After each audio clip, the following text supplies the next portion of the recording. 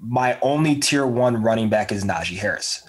Um, he checks literally every single box that you could possibly imagine from a movement perspective. There you go.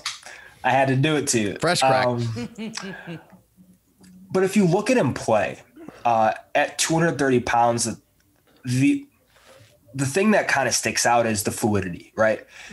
The the grace at his size, 6'2, 230, and you know, he's running he's running a wheel route downfield, you know, catching a pass over defender.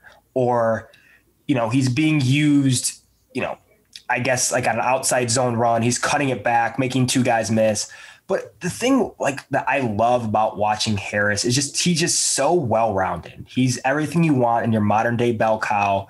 He has the broadest receiving skill set that I've charted in this class. Him and Gainwell are kind of one and two in that regard, but he wins at all levels of the field as a receiver. That is really unique. And if you watched him in high school, I remember following him in high school because he was he was probably the most um, hyped running back prospect of this past decade. And watching him in high school, I remember I was watching ESPN. You know how they do those like um, ESPN Little features, yeah. features, and do like the, they do like one on ones and stuff for like for Mhm. camps. Um, and he was he lined up at receiver against some of the best DBs in the nation. Absolutely cooked them. Yeah. And this is a guy at 6'2, 230. Right. He was a 200, he was a 218 And he might, pound might high not have, schooler. I was going to say, he might not quite have been I mean, there at he's- that you point know, when you're still- talking about. But yeah. He's still a six one and a half, six two, 218 pound high school Yeah. running back. Right. And, you know, it's just the skill set that he has is very rare at his size in particular.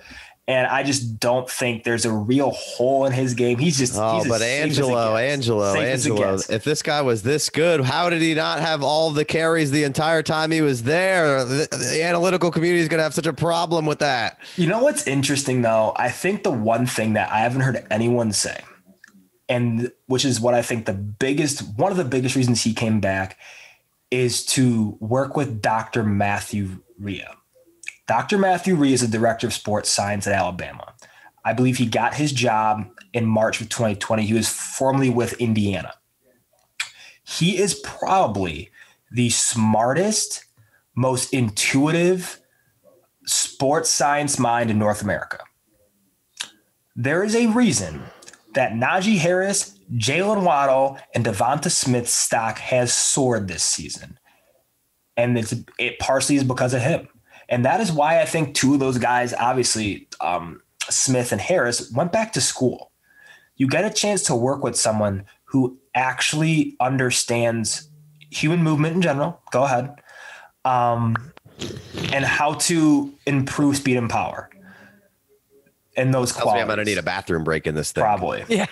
um, that's the important thing about having a guy like that, you know, in your back pocket, in you know, Yeah. in your meeting rooms, and and being able to work with him on a day to day basis. That was important, and you saw it in his game. And it was funny when I charted um, Harris's junior season. He went from being a mid tier two running back to being a set it and forget it tier one player. Yeah. Like he is a he he goes into the potential all pro realm. Yeah. And that's the difference that I think um, Dr. Matthew Rhea made. And Matt Rhea is, I mean, look him up, brilliant guy. And, you know, that's a big, big piece of why I, I, I'm so, I feel so strongly about Najee Harris being so safe. Yeah, well, we'll, well, I think we're going to cap this thing off with at the end of this podcast with talking a little DeVonta Smith. So I'll save Perfect. the conversation about him. We'll bring uh, Re, was it Rhea? Yeah, that Matthew Rhea. We'll bring him back up uh, uh, then. It feels like Alabama. I agree with you. I, I got I got Najee up at up at number one.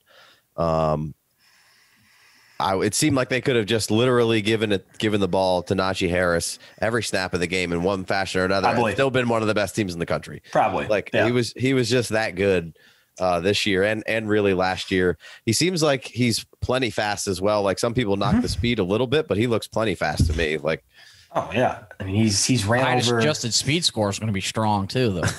yeah, 230. I mean, it's it's funny because he has a faster clocked game speed than that of Miles Sanders. Yeah. Do with it as you will. Well, uh, Sure, sure. I'm not I'll saying he's faster than. Miles. I'm not saying he's faster than Miles Sanders, but he is plenty fast, Yeah. and it shows. I mean, he. You know, This is it was a great offensive line this year at Bama. Um, And did, obviously, you, did you see what's cast. his name?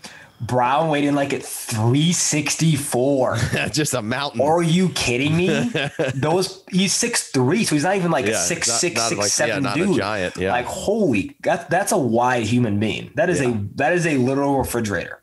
It's unbelievable. well, it's funny that you like you, you- you hit like some. Did you, did you call it elegance in his game? Is that what you went with? Is that Fluidity. I think I said fluidity. fluidity? And I think there was like another Grace. Grace, there it is. I got him as a big, rugged dude, just this big manly man, like a like a black Paul Bunyan, if you will. I love it. Um, no, I, I love But if it. if Paul Bunyan was teaching a class on what fucking silverware to use at a fancy dinner, That is that hilarious. type of elegance in his game to go along with that big, rugged, pr- seems like he could wear flannel everywhere. That's that's Uh, a great that's a great descriptor. I was talking to my buddy a couple nights ago, and we were talking about the prospects in this class naturally.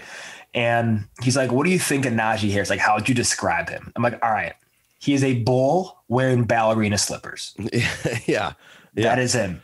He's he's Paul Bunyan and Babe in the Blue Ox all mixed together. all mixed Fun together. to watch, yeah. Yeah, uh, just a just a like you said, most big men like that they seem so stiff, and I think Najee is the absolute difference. Like, mm-hmm. he Oh, seems yeah. so pliable, like just Yeah. very bendable human, and the stiff arm is nasty, Larry Holmes esque, if you will. Not sure. Sure. Former heavyweight champion beat Ali, but Ali was past his prime. He's from where I'm from, so I just I love when I'm- it. when I'm Love throwing the boxing reference, good. references. I'm throwing I'm throwing Larry in there. I'll shout out to Larry Holmes, the Easton assassin. But yeah, man. I mean, the, I guess the, the other biggest knock on on Najee is why you know one why couldn't why why did he not beat out all keep other guys off the field? And I think this Alabama has a ridiculous amount of talent. That's a stupid argument. And Simmons two, is old. Two, yeah, he'll be 23 in March. will. That's the that's the other not. And I was like, I don't I don't even fucking care. Like He runs like he's Like- 23. That's for sure. everybody hates running backs and they're old and you want to sell them by their second contract anyway. So well, why do I even care? This guy's awesome. I don't agree with that necessarily. I'm just saying like that's what people where people are at anyway. And it's like he's he's awesome. He's like you said, he's that old Ronco uh said it. I don't know if you guys remember that.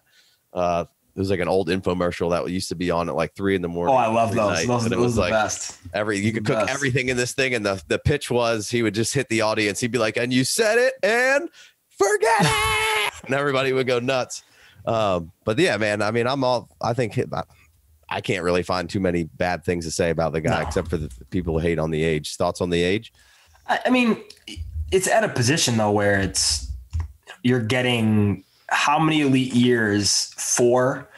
and then it's anything after that's a bonus. Like if this is like a 23 year old wide receiver we're talking about, who you want to get eight to 10 years of legitimate production, I think then it's like okay, like that. That's where it's a little different. Um, but even so, I mean, I'm just I look at the player. You know? yeah i'm not going to be an ageist Yeah, I mean it's you know, it is what it is. And you can't change his age. Right. Like you can't, you know, you can't underdevelop. Like you can't Yeah. do that. Um, but I'm not too I'm not worried about the age at all. jay wayne do you have a problem with this I have no problems. this, this Najee over etn no, Jay- I, I, Jason went to Clemson. He's our Clemson guy. He does an I remember okay job of staying fairly that. neutral, but I try to stay nooch, uh, but it's tough. And if I'm on the clock at one one, I mean, I'd like to say I could just move back to one two, but then who knows who's going to take? I got to get a guarantee that you're taking Najee Harris with that one one if I move back, and I probably would just take ETN because there's no way I could pass on him. But I try to I try to stay unbiased when I I'm on this show and I'm telling people what I think. If I was you, I would probably have to take Najee Harris, and I'm totally fine with that. And and we have teams that we share together and stuff, and I'm probably going to get outvoted. Uh, we do have one draft where we uh, we traded somebody and, and they got the one once. we have their pick, and we're gonna have to decide whether we want Etn and Harris. I'm probably gonna lose that vote, and I'm not gonna be upset at all about having Harris on the team. He's pro- he's he's a safer prospect, I guess, than Etn in in, in some ways. Um, But I mean, I agree with everything you guys said about Najee. He's incredible uh, to be so big and powerful and fluid at the same time with the speed and the change of direction. And then you throw on top of that the fact that he can go high point, a back shoulder fade, and contort his body at the same time. Like it's just incredible what that man can do on a football field. Don't care at all about the age. Don't care about the lack of production prior to the last year. Good for him for coming back, getting that massive workload, showing everybody, and then drastically improving his draft stock. I would imagine. Oh, for sure. Um, yeah. Especially with how deep last year's class was. So I have no problems with any of this. Um, uh, Najee Harris, how can you argue with that man? Word. All right, let's springboard right into. I think that's your end of tier one, Angelo. Yeah, that's it. Najee Harris is the only only back I I have in tier one personally okay. this year.